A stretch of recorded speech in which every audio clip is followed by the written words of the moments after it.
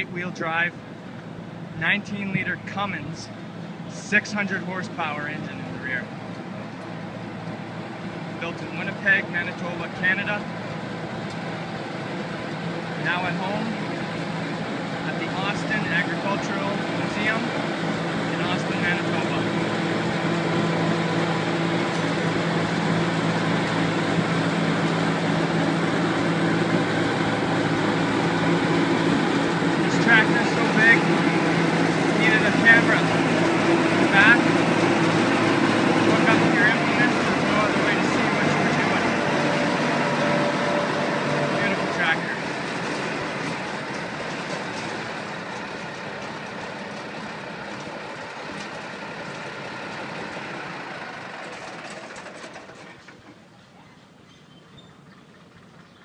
Other not easier, man. Got it.